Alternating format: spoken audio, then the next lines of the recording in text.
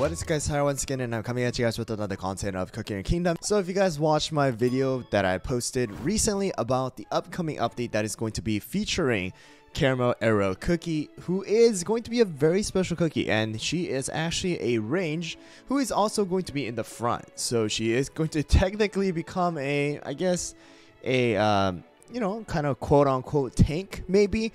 Um, I don't know how it's going to be, but if you guys know already, and I've actually explained it in the video, the two of the latest uh, range cookie that came out were Twizzly as well as Pastry. So it's been a long time since we actually had another range cookie, and both of them are actually rear cookies. So their position is the rear, all right?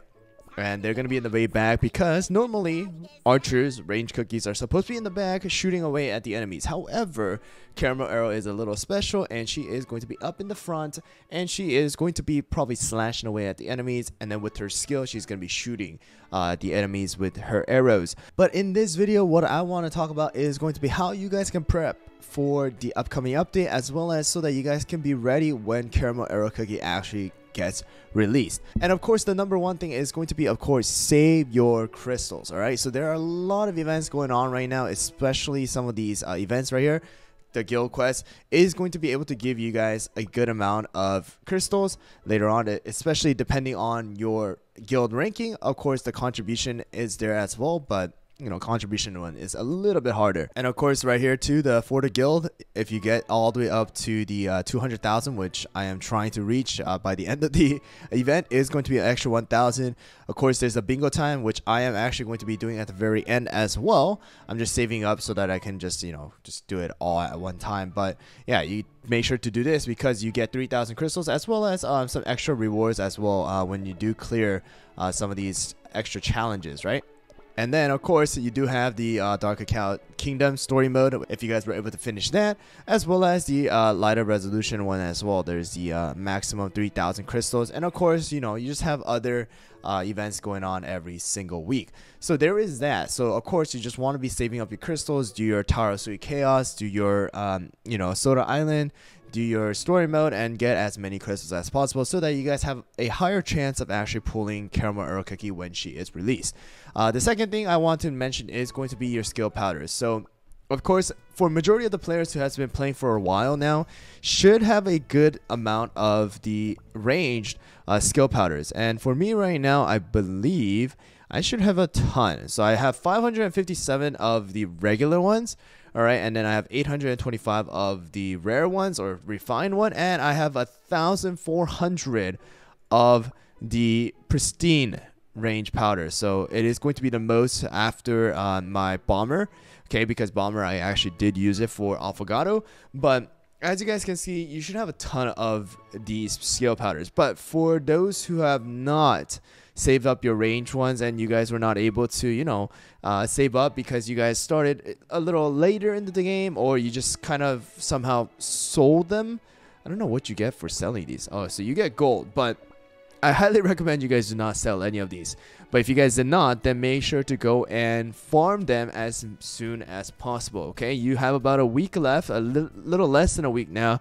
So you, of course, you're gonna have today, which is gonna be the Sundays, and it's gonna be all skill powder and then you have the Wednesday, which is going to be range, and then on Saturday, which is going to be another range. And of course, you just want to keep doing that. And if you guys do want to just farm the normal ones, then you guys could go into any world exploration stages that has the skill powder.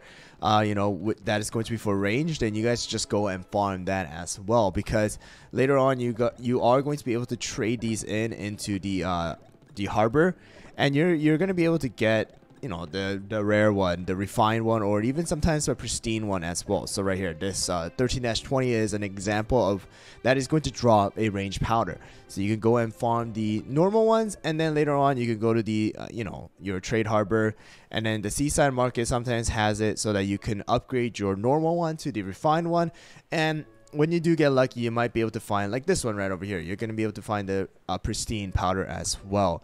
All right, so you're going to be able to do that. Sometimes in the Rainbow Shell Gallery, they do have some skill powder as well as when you do go to the arena, and the metal shop sometimes has it as well right over here. So for me right now i am able to buy them. So you're able to buy that um, you know skill powder as well. The next thing i want to tell you guys is definitely going to be saving up your exp star jellies. This is always standard stuff uh, especially for everybody who's been playing for a while. Um, new cookies come out. And of course, if you attain new cookies, they are level one. And especially if they are going to be meta or, you know, just changing the whole meta system inside of the arena or even the world exploration, you want to be able to use them as soon as possible. And that is going to be by leveling them up using your EXP Star Jelly. So, of course, the main thing is going to be upgrading your cookie houses to get your EXP Star Jellies. You're going to get some extra, uh, you know, daily stuff from the uh, Fountain of Abundance. If you were able to unlock the Soda Island, then you're gonna be able to get your you know eight hours of just daily you know uh, rewards that the villages give you, and then you're gonna be able to get some from your um, Tower of Sweet Chaos. So th those are able to you know get some uh, first time reward as well as repeated rewards.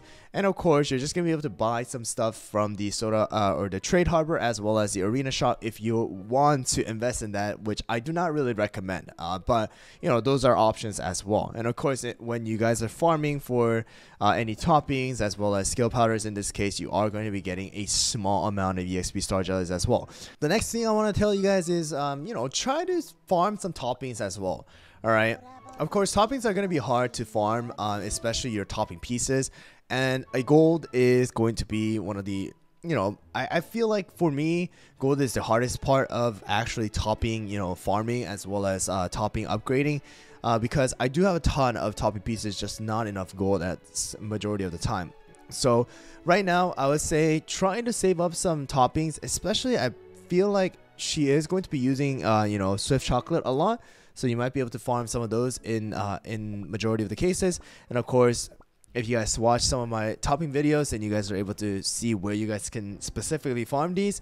And or if you do not want to uh, watch that video then you can just see right here. Just go to any stages and see what is a possible drop of you know certain toppings. And for swift chocolate it's going to be only one um you know so you can just go to any world stages and just find out which one is going to have the epic or the medium swift chocolate drop.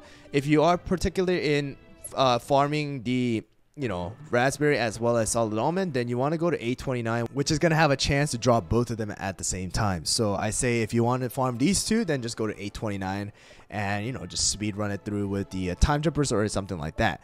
All right. But you do want to be farming some topping pieces as well as just toppings in general.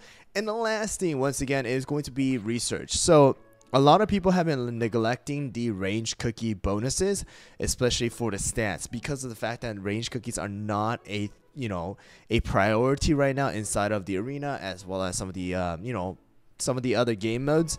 Um, even me, I've never really upgraded anything uh, regarding range except for the attack right over here, and that was because of Twizzly Gummy Cookie. But right now, I am slowly just uh, upgrading my bonuses for range cookie. So if you guys are Uh, in you know Kingdom Castle level 7 and if you guys were able to upgrade your Sugar Gnome Laboratory then you do want to be upgrading uh, your stats so that you guys can use a Caramel Arrow Cookie when she becomes available and especially if she is going to be part of the meta inside of the arena which I believe she is going to be because Affogato Cookie was not really a good cookie in my opinion for the arena. So that is just pretty much what I want to tell you guys. Uh, in general just you know just wanted to remind you guys this is uh, happening uh, you know, Caramel Arrow is coming out on the 25th, so you know we we do only have about like five days left, so less than a week uh, remaining until she is released and the new story is released. So prepare yourself be ready so you guys don't miss out on the opportunity that is available for you when she is released. Anyways, guys, that's going to be it for this video. I hope you guys found it helpful. If you guys did, don't forget to hit that subscribe button as well as the like button. And also, don't forget to hit that notification bell so that you guys don't miss out on any future click Cookie Run Kingdom videos as well as live streams that I do on YouTube. Anyways, guys, thanks for watching once again, and I'll see you guys all next time.